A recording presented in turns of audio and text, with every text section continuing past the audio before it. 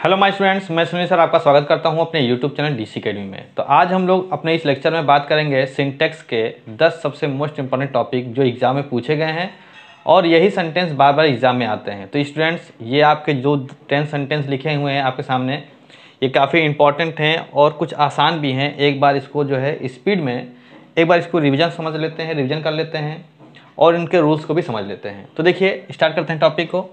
तो पहला सेंटेंस है I am grateful to you तो I am grateful to you में कोई गलती है क्या? इसमें कोई गलती नहीं है, क्योंकि I am grateful to you होता है। अगर यहाँ पर होता I am grateful for you तो यहाँ पर फॉर जब क्या करते हैं? टू तो हमारा टू सही होता है और फॉर क्या होता? है गलत.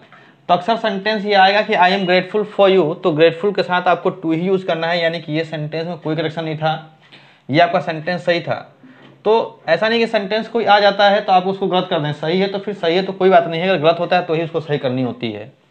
चलिए बात करते हैं सेकंड सेंटेंस की। लिखा है there are fine furniture in the house तो मैंने बोला कि देयर आर फाइन फर्नीचर तो फाइन का मतलब क्या है? अच्छे। यहाँ पर फाइव नहीं है, केवल ये फाइन है। अगर फाइव होता तो यहाँ पर फर्नीचर्स कर लेते हैं। पर एक बात सुन लीजिए आप, कि फर्नीचर को कभी भी बहुवचन ही बनाते हैं और यहाँ फाइन मीन्स क्या है? अच्छे। तो यहाँ पर आर नहीं होगा इज़ होगा, क्योंकि फर्नीचर को हमको सिंगुलर में रखते हैं। ठीक है ना? तो देयर इज़ फाइन फर्नीचर हो जाएगा। बात करते हैं सेंटेंस नंबर थर्ड की। तो ही यू एंड आई अब देखिए यहाँ पर क्या होगा?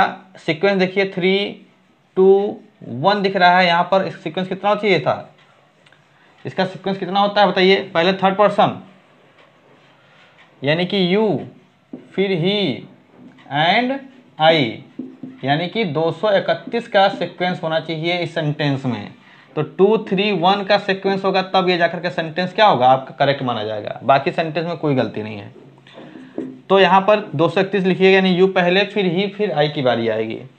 अब बात करते हैं सेंटेंस नंबर फोर की। तो लिखा है सिटिंग ऑन द गेट और स्कॉर्पियन स्टंग हिम यानी कि गेट पर बैठा हुआ एक एक स्कॉर्पियन ने जो है किसी को ए, ए, किसी को क्या है? काट लिया स्टंग कर लिया यानी कि डंक मार दिया। तो यहाँ पर सिटिंग ऑन नहीं होगा, बल्कि क्या हो जाएगा? At sitting at the gate होता है। गेट का मतलब नीचे बैठा हुआ गेट के ऊपर नहीं बैठा था। नीचे यानी जहाँ पर गेट होता, उस जगह पर बैठा हुआ था। तो यहाँ पर एट का यूज़ किया जाएगा। सेंटेंस नंबर फिफ्थ की बात कर ले तो लिखा his parents deprived him with देखिए डिप्राइड के साथ विथ का प्रयोग नहीं होता है। डिप्राइड हिम डिप्राइड के साथ ऑफ़ यूज़ होता है। तो deprived him of all he had तो डिप्राइड के साथ किस यूज़ करना है? ऑफ़ यूज़ करना है डिप्राइड ऑफ़ मीन्स निकासित कर देना या निकाल देना। बात करते हैं सेंटेंस नंबर सिक्स की तो लिखा है सी हैव संग अ सॉन्ग तो आप खुद बताइए सी के साथ यहाँ पर हैव लगाने की कोई ज़रूरत नहीं है, यहाँ पर क्या हो जाएगा? हैज़ ऐसे भी सेंटेंस आसान आसान आ जाता है एग्ज़ाम में।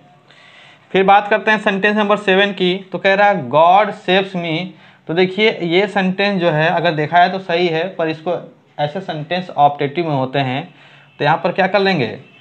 मे गॉड सेव्स मी और एक्सक्लामेशन मार्क लगा देंगे तो ये सेंटेंस सही माना जाएगा। यानी कि कुछ ऐसे सेंटेंसेस होते हैं जो एक्सला जो ऑपरेटिव सेंटेंस में ही सही माने जाते हैं, जिसको एक्सलामेटरी भी सेंटेंस कहते हैं। तो एक्सलामेटरी सेंटेंस में ये भगवान से क्या किया जा रहा है? प्रार्थना की जा रही है कि भगवान मेरी रक्षा करते हैं या करें तो मे गॉड सेव्स मी बात करते हैं सेंटेंस नंबर एट की तो लिखा है the number of invitees are देखिए द नंबर ऑफ़ का यूज़ हो रहा है। आपको यहाँ के हिसाब से नहीं देखना है, आपको नंबर के हिसाब से क्या लगाना है? इज़ लगाना है, न कि आर तो ये सेंटेंस आपका करेक्ट हो जाएगा। बात करते हैं सेंटेंस नंबर नाइन की तो लिखा है मिल्क इज़ प्रेफरेबल दैन तो प्रेफरेबल के साथ किसका यूज़ किया जाता है? टू प्रेफर और प्रेफरेबल के साथ किसका यूज़ किया जाता है? टू का यूज़ किया जाता है। चलिए, अब बात करते हैं सेंटेंस नंबर लास्ट की।